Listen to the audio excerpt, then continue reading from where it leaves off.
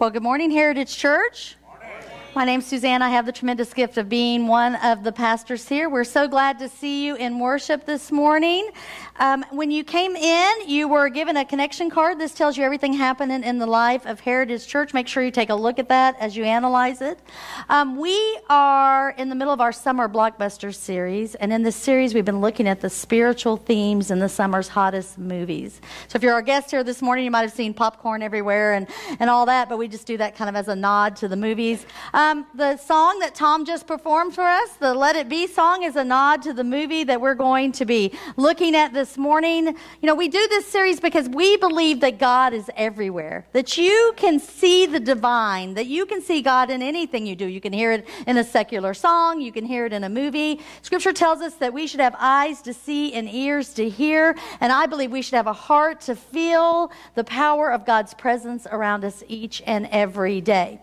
Now, as we get started this morning, if you're our guest here this morning, we welcome you. We know you have lots of choices and places to worship, so it's a gift to have you here as our guest. Now, we have a lot of people who continually come into our church, and we really want to know who you are. We want to know your name. So if you could just text new there, and you'll get a you'll get a text back. That's our church number there at the bottom of the screen. If you would text that to us, if you don't want to, you can fill out the connection card you were given and write your name on that, just so that we can begin to memorize your name as well. If you're a regular attender, you can just text here, and each uh, uh, First Sunday of every month, we have an event called Pizza with the Pastors where you can just come in and have some pizza with us and we get to know you. I did want to give a little shout out. One of our young men just got back from basic training in tech school, Logan Howe. Would y'all give it up for him for serving our country? Right over here, one of our former youth.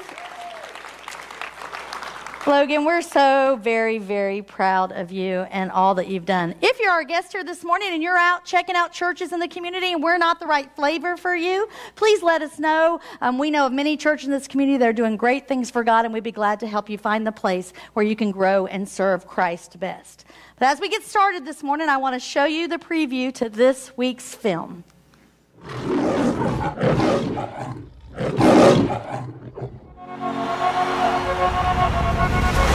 Until a month ago, you were a complete failure.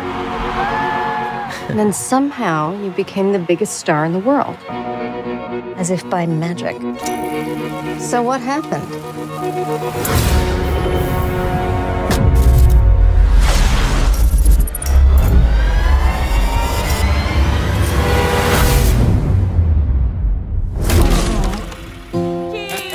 Yesterday, all my troubles seem so far away. Oh, I believe in yesterday. When did you write that? I didn't write it. Paul McCartney wrote it. The Beatles. Who? John Paul, George, and Ringo. The Beatles. No. Stop it. Yesterday. It's one of the greatest songs ever written. Well, it's not Coldplay. It's not Fix You. When I find myself in times of trouble, Mother Mary comes. I'm just uh, listening to Jack's new song. Oh yeah. What's this one called? Leave it be. Let it be. Well, rock on, Jack. Word has got out about a new pop phenomenon. Your music, it's incredible. We need you to come to LA. I'm offering you money and fame. Hello, Mr. Sheeran. Love your work, man. Especially the rapping. Oh, really? No, only kidding. No, leave it to the brothers. That'd be my advice. Hey Jude. You're leaving, so I can ask you anything. How did I get in the friend column instead of the and I love her column? Jack Malik, we're a superstar! We could have been the perfect match. But now you're the world's greatest songwriter. I'm not. Except that you probably are. It is my honour now to open this door for the moment the entire world has been waiting for. Nah, wrong door. Is it just you writing the songs? Yes. But is it? I, d- I don't know. I've been a fool twice over. Perhaps love isn't all you need, but it's pretty close. With the song, I do have a suggestion. Hey, dude. Hey, dude. Are you sure? Hey, dude. He's right. That's better. So, how many of you have seen it?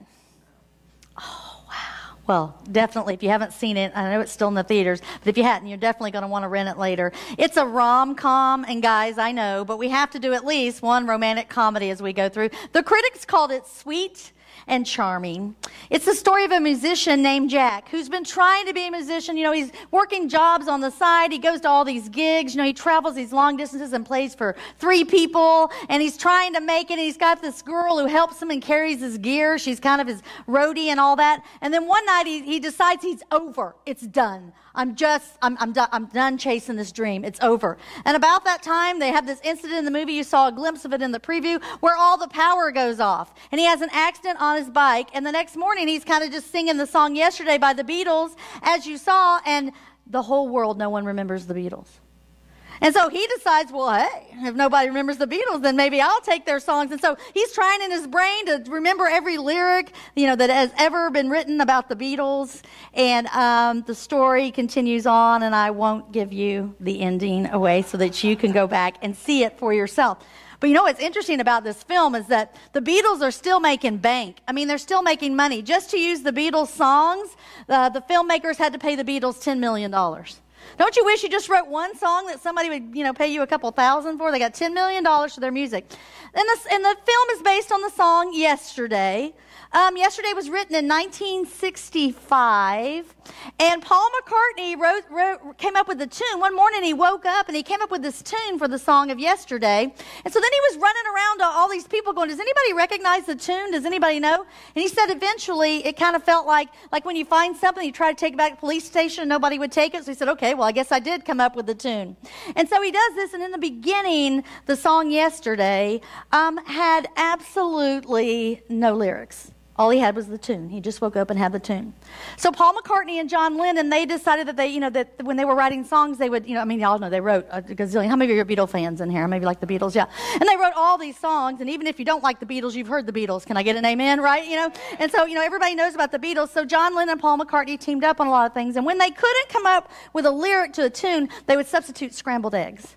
So the original title of yesterday was Scrambled Eggs. Oh, I wish she had good legs, because then she'd make me scrambled eggs. But that's how it went, okay? I can't sing, sorry about that. But anyway, that's, you know, kind of how it goes. And so um, this song was voted by MTV and Rolling Stone magazine as the number one pop song of all time. The song Yesterday. And um, it's been covered. You know how they do covers of, of, original songs? It's one of the most covered songs in history. 2,200 different artists have covered the song Yesterday. When you think about the song yesterday, it's a song about a guy who, you know, he, he had this girl and he, he didn't do what he was supposed to do. He said some stuff he shouldn't have said, and she's gone, and how he longs for yesterday. And it's a song that's just filled with regret. The movie speaks to us about regret. And if we're honest, our lives each and every day speak to us about regret. Now, the concept of regret is not a very fun topic to discuss, but it's one that we all experience in some way, shape, or form. Regret is loss or sorrow over something that could have been. And sometimes, when we have bad outcomes in our lives, we, we blame ourselves. And regret has some cousins guilt and shame and condemnation.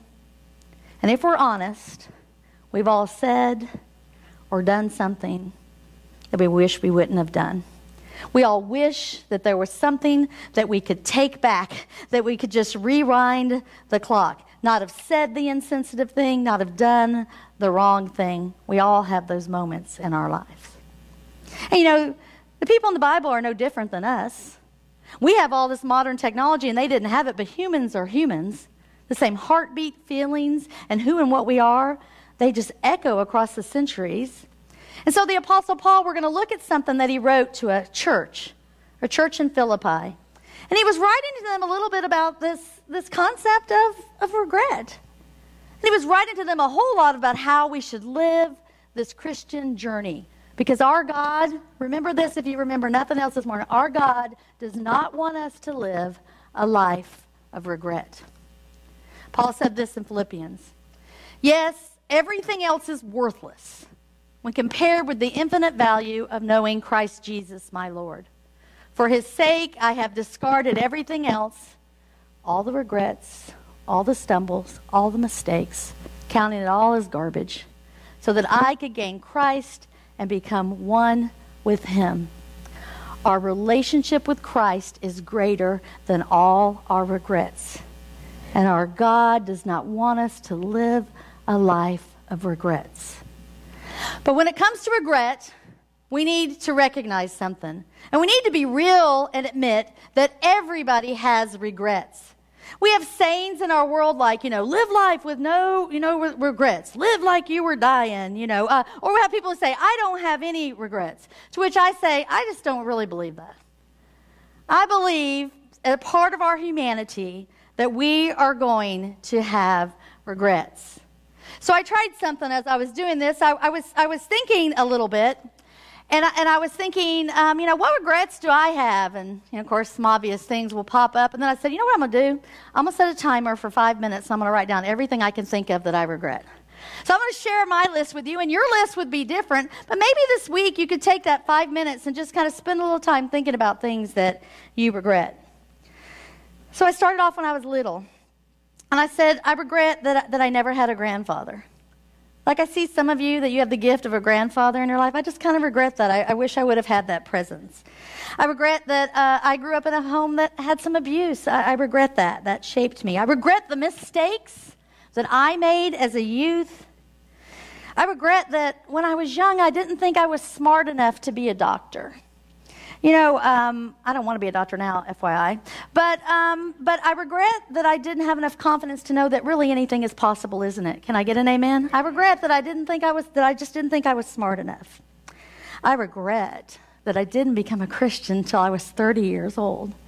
I'm always so envious and so in awe of those of you that have been raised in the church and sometimes people have been raised in their church all their lives. They have this thing like, well, I don't really have a testimony. And I'm like, oh, yeah, you do. You have this testimony of this beautiful thread of grace that has weaved itself all throughout your life. It's a beautiful thing. I regret that um, I often would use careless words. I regret that I've hurt people.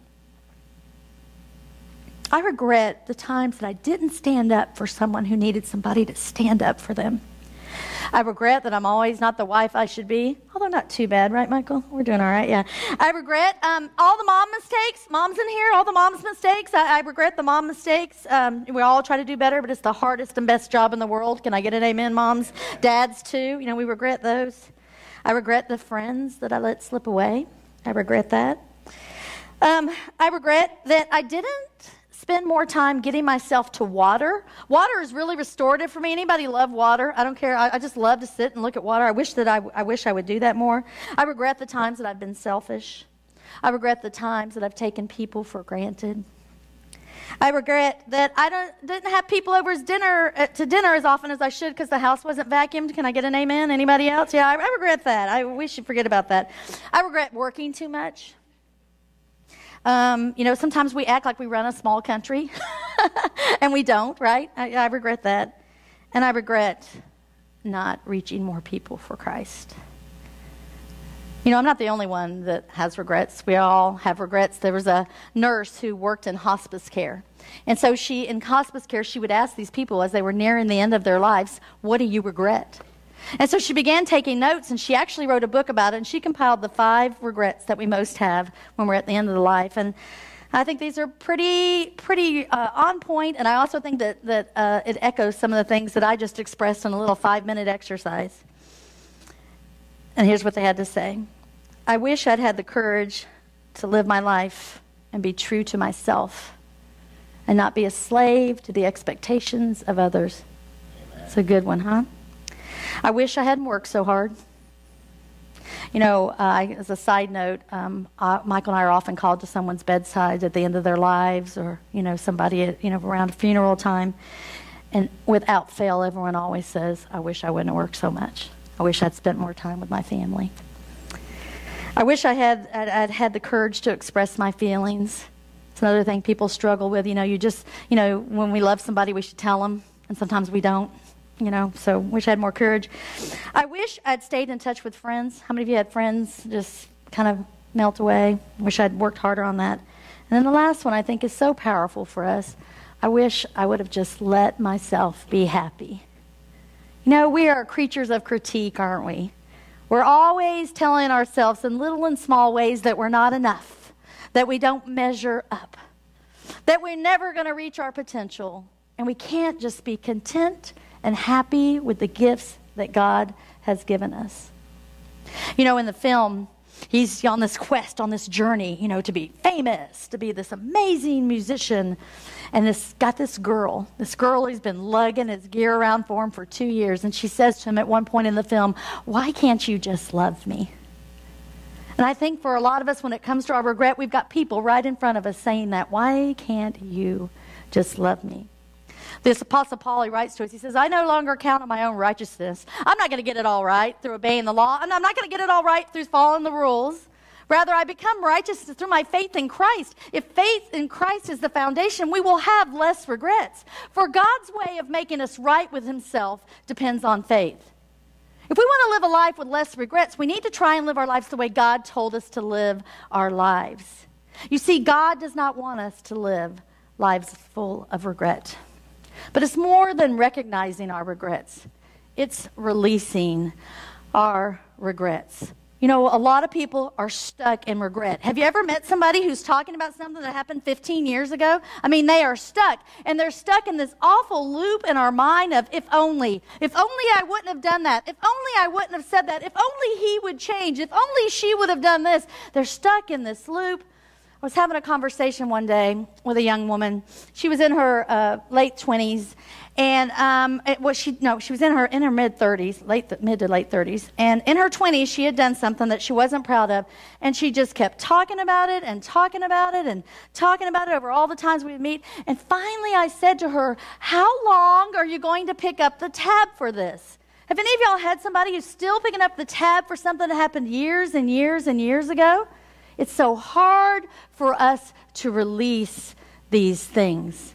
So hard for us to let things go. In the movie, he has a hard time releasing his expectations of what the futures are going to go. And, and he's got these regrets, and, and he, doesn't kind of, he doesn't really know what he can do to, to let them go. But he needs this release. We all need this release. Apostle Paul says this I want to know Christ. So, do we want to be friends with our regrets or do we want to be friends with Christ and experience the mighty power that raised him from the dead? You see, God wants to give you a life where you have power over your regrets. I want to suffer with him, sharing in his death. Yeah, I, I know I'm going to have to suffer some. If I pull out my regrets and I pull a sheet out, you know, that's not going to be fun to do. But maybe I need to share in that suffering a little bit so that one way or another I will experience the resurrection from the dead. Do you understand that if you're going to have the new life, the abundant life, the real life that Christ called about, if we're going to have resurrection, something has to die. And something has to die in us. We have to release things, we have to let it go. Let go of the loss, let go of the guilt, let go of the shame. Remember that there is no condemnation in Christ because our God does not want you to live a life full of regrets. And then we have to remember that our God, our God wants to redeem it. Any regret you've had, any regret you'll have today, one you had tomorrow, one into the future, if you will allow God to come in, God will use it. You don't have to deny it, you don't have to minimize it. You need to know that God will use it. You know, in the film, he talks about how he wants to drink. He says, he says these words. This lady asks him, she says, Do you want to drink from the chalice? Using religious imagery? Do you want to drink from the chalice of money and fame and power? And he looks at her when one moment he says, I don't even know who I am anymore. God knows who we are. And God wants to redeem who we are. You know, in the film, it's kind of interesting. Nobody, the whole world forgets that the Beatles exist. But for some reason, two people know. Two people know. And they come to him and he's afraid. And he thinks that because they know they're going to turn him in and it's going to be really bad and everybody is going to, you know, find out that he's a fraud and all this. And they come to him and they're so loving with him.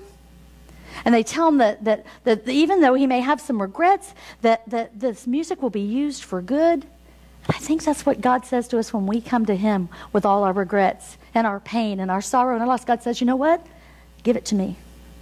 I can do something good with it. Apostle Paul says this I don't mean to say I've achieved these things. You know what? None of us have. We haven't achieved victory over regrets. There's no such thing. Or that I've already re- reached perfection. We know we're not perfect. So many of us try to act like we're perfect and everything has to be perfect, and the whole world knows that perfection is an illusion. But I press on to possess that perfection for which Christ Jesus first possessed me. You know, a lot of us, it is so hard to let go of our past. It is hard to let go. For some of us, when it comes to our past and the regrets, and sometimes our regrets are things we've done. Sometimes the regrets are things that were done to us. It's hard for us to let it go. For, for, mo- for many of us, our lives are kind of like we're in an automobile and we have a windshield, but we don't look at the windshield. We're just looking in the rearview mirror all the time. You know, that rearview mirror is a pretty small piece of what this life is about, isn't it? And what could our lives be like if we could just stop looking at the rearview mirror and look at the windshield and see what God has put in front of us? You know, if you do this Christian journey thing for a while, you discover a couple things. Number one, that our God loves us unconditionally. That no matter what you've done, no matter how far away you feel from God, no matter what is broken that you think cannot be repaired, that's when God can redeem it. That's when God can use it. And sometimes we just have to be real before God and we have to repent. We have to say, God, I messed up. And it doesn't mean that we say, God, I messed up and we keep doing what we're doing. That's not what repentance is. Repentance is we turn. We turn our behavior to what we were doing. We repent. And when we repent and we are speak to God with our whole heart and our whole soul, God will redeem it. And God will use it for something good. You can bury your regret. You can bury your shame. You can bury this condemnation that you live under because Christ wants you to live a life that is not full of regrets. You know the great thing about regrets is is that knowing all this and being a Christ follower, and if you haven't begun a relationship with Christ, and you've just wandered in here this morning, I would love to talk to you. It changed my life at the age of 30, and it can change your life too. You see, knowing this, that our God is a God who doesn't want us to live a life of regret, helps us today because we can reduce some of the mistakes that we made. We can break some of the power of regrets in our lives. Because our God always calls us to do something. So if there's someone you need to say something to today, pick up the phone this afternoon and say it. If there's something you need to do to make something right, go do it. If there's a relationship that you need to repair and you're stuck in the stalemate of stubbornness, fix it. If there's something that you need to stop doing and you are playing with dynamite and sin and something that could blow up your life, stop it. Stop it today. We can reduce these things in our lives. The Apostle Paul puts it this way He says, he says, No, dear brothers and sisters, I haven't achieved it. But I, I focus on one thing. You see, we can focus on our regrets, we can focus on our past, or we can focus on one thing. He says, I focus on forgetting the past and looking forward to what lies ahead. You see, our regrets will be reduced when we learn to focus on Christ and what Christ is doing on into our future. Our God does not want us to live a life of regrets. In the movie, there comes a point in time where he is weighed down. He is weighed down by the regrets, things that have happened in the story and things that have happened in our lives.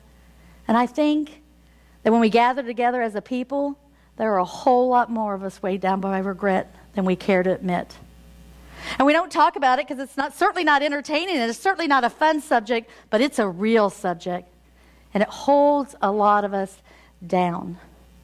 And so he decides that he's going to come clean. And when he does, that's when he gets everything he ever wanted. And know this there's a God who wants you to get everything you ever wanted that God wants you to have. Now, following Christ doesn't mean you'll always get everything you want. But it does mean that God will always give you everything you need. Our God does not want us to live lives of regret. And so we have this concept of regret. You know what I think? I think we're all students.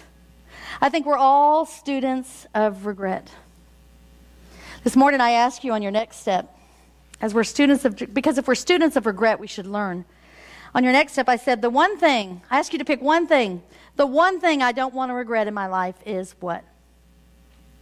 What's one thing in your life that you don't ever want to regret? And the next step is, I will do the following to make sure that I don't regret it. Maybe you don't spend enough time with your kids. Maybe there's a family member you haven't spoken to in years. Maybe you worship the things of this world and have ceased to worship the living God. Whatever it is, God does not want you to live a life of regret. You know, in the movie, this guy, is on this quest, and I think it's a quest that a lot of us are on. Sometimes we're on this quest for significance and, and meaning, and he wants the fame, and he wants the fortune, and he, and he wants it all. And he's talking to this friend. He said, you know, you know what I am? What I think I am? I think I'm like a number one Billboard top hit. I'm a number one song. But it feels like that I'm always number two. And his friend looked at him and he said, You know what? Those number two songs are some pretty good songs. And you know what? We don't have to be number one in this world because we serve the one who truly is. Apostle Paul tells us as he closes, he says, I press on to reach the end of the race and receive the heavenly prize for which God, through Jesus Christ, is calling me. Paul tells us that we should press on. And so, finally, today, as we think about re- re- regret, I want to ask you a question. What are some things you'd never want to regret? I've got a few that I've never liked to regret. Here's so I want to share this with you 10 things you'll never regret. You will never regret showing kindness to an older person. You will never regret destroying a letter that you write when you're mad. You will never regret offering an apology that restores a relationship. You will never regret stopping a scandal by ruin, stopping a scandal that was ruining a reputation. You will never regret helping a child see themselves the way God sees them. You will never regret taking time to show consideration to your parents, to your siblings, to your brothers and sisters, and to your friends. You'll never regret re- refraining from gossip when everyone else around you is talking. You'll never regret refusing to do something that's wrong, even though everybody else is doing it. You'll never regret living your life according to your convictions. And most importantly, you will never regret following God and letting Him be the Lord of your life. Our God does not want us to live lives of regret.